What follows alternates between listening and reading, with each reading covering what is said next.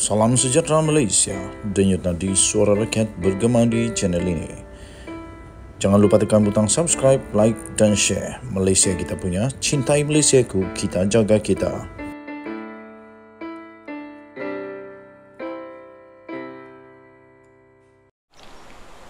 Selamat pagi Malaysia, denyut nadi suara rakyat bergema di channel ini. Saya sekarang berada di Kalangadanku di Kota Belud, daerah yang memang terkenal dengan eko pelancongan uh, dan di belakang saya ada sungai yang memang cantik. Anda boleh Google di Kalangadanku dan anda boleh ikut Waze ataupun Google Map untuk sampai di tempat ini tak jauh tapi tempat ini memang berbaloi lah. Uh, berbaloi untuk wang, berbaloi untuk Uh, masa untuk dapat healing di sini bersama keluarga. Okey. Saya nak bagi satu pendapat uh, tentang satu video yang memang saya sudah uh, saya sudah jangka itu pasti akan dibuat satu hari nanti oleh Datuk Vedron. Saya salut dengan Datuk Vedron sekarang ini. Uh, dan untuk pengetahuan Datuk Vedron, bukan pakcik saya, bukan makcik saya, bukan jiran saya, eh, dia tak pernah bagi saya duit, tidak pernah. Tapi saya salut dengan fikiran daripada Datuk Vedron. Keberanian beliau ini belum pernah ada seorang pun MP di tempat kami yang cukup berani seperti beliau. Beliau tetap dengan pendirian untuk menjalankan tanggungjawab amanahnya sebagai wakil rakyat ahli parlimen P167 Kudat yang memang berani menyuarakan. Pertama, pertama beliau mengatakan tentang perkara peruntukan inisiatif yang dijalankan oleh Kerajaan Persekutuan yang telah diumumkan oleh Datuk Sri Anwar Ibrahim iaitu tentang uh, tol percuma yang diberikan oleh Kerajaan Persekutuan kepada seluruh umat Islam yang berada di negeri Semenanjung Malaysia iaitu tol percuma. Sepanjang uh, uh, bukan sepanjang uh, sempena sempena hari raya ini itu membabitkan lebih kurang 93 juta kalau saya tak silap. Dan tuan-tuan dan puan-puan itu yang dapat oleh rakyat semenanjung Malaysia. Tol percuma. Dan 90 juta itu bukan satu jumlah yang sedikit ya. Bukan satu jumlah yang sedikit. Manakala untuk rakyat negeri Sabah dan Sarawak, terutamanya secara khusus bagi rakyat di daerah Pitas, daerah Banggi, daerah Kudat, di mana ketiga-tiga Dewan Undangan Negeri yang terletak di dalam P167 Kudat ini, mereka ramai bekerja di Semenanjung dan mereka ini bukan orang kaya. Sehingga apabila kenaikan tambang tambang kapal terbang sangat-sangat mahal, mereka tidak mampu untuk balik ke Sabah kerana tambang yang terlalu mahal. Walaupun begitu yang mengecewakan ialah semenanjung Malaysia dengan tol dapat begitu uh, inisiatif bantuan daripada kerajaan tetapi tidak ada nampak seolah-olah tidak ada apa-apa inisiatif tidak ada apa-apa insentif, tidak ada apa-apa uh, subsidi kah yang diberikan kepada rakyat Sabah yang mau balik dari Semenanjung ke uh, ke Sabah.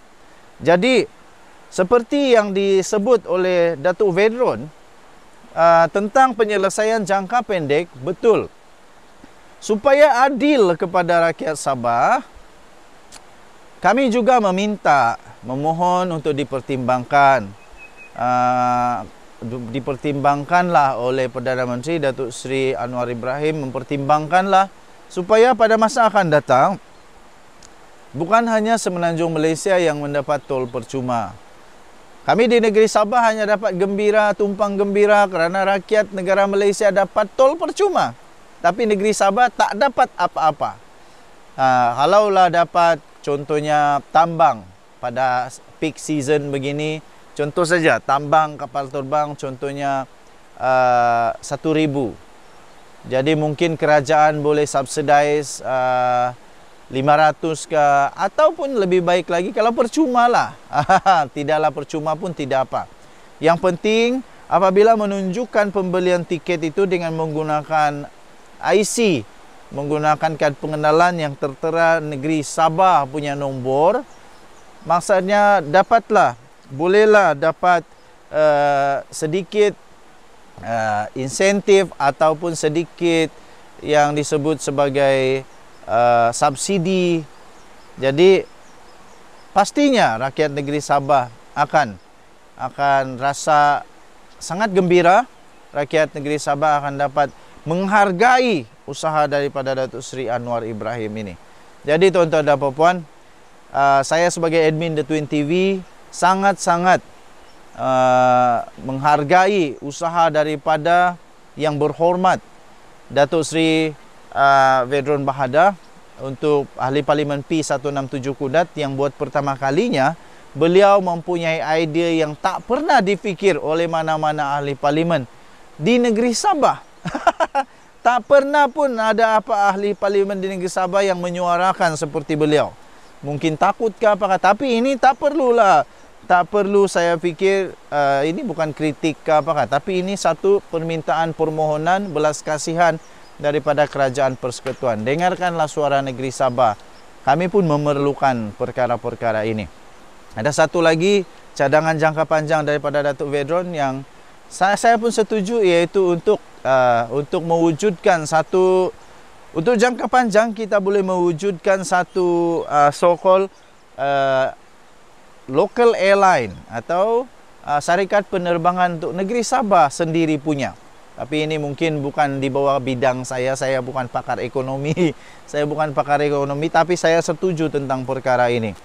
Uh, semua uh, low fare airline yang ada di Malaysia selalunya memulakan perjalanan mereka Diorang punya route yang pertama adalah daripada Kuala Lumpur dan KK KK Kuala Lumpur dan itu membuatkan mereka sangat berkembang dengan bagus menjadi syarikat penerbangan yang cukup kaya jadi uh, kenapa negeri Sabah mungkin melalui Sabah A kata uh, Datuk Vedron kita boleh melaksanakan satu syarikat penerbangan yang Sabah punya sendiri. Jadi bila Sabah punya sendiri, uh, senanglah untuk dapat beri inisiatif bagi diskaun, bagi uh, apa-apa sajalah subsidi kepada rakyat Sabah yang membeli melalui syarikat penerbangan ini. Baik tuan-tuan dan puan-puan yang dihormati sekalian, sekali lagi saya menyokong, saya menyokong cadangan yang telah di, disuarakan oleh Datuk Vedron untuk supaya kerajaan uh, Madani ini kerajaan persekutuan untuk dapat memberikan pertimbangan supaya uh, dapat memberikan insentif atau diskaun atau subsidi kepada rakyat negeri Sabah uh, yang bekerja di Semenanjung Malaysia. Kalau beli tiket bagilah diskaun supaya dapat balik dan adil juga untuk negeri Sabah. Kami selama ini dapat gembira saja bila Perdana Menteri umum, oh ada tol percuma, tol subsidi dan sebagainya. Kami weh gembira.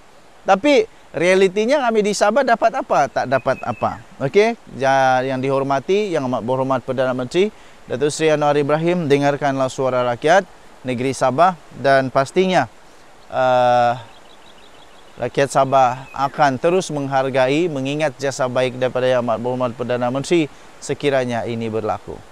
Denyut Nadi, suara rakyat bergema di channel ini. Malaysia kita punya, cinta Malaysia aku, kita jaga kita.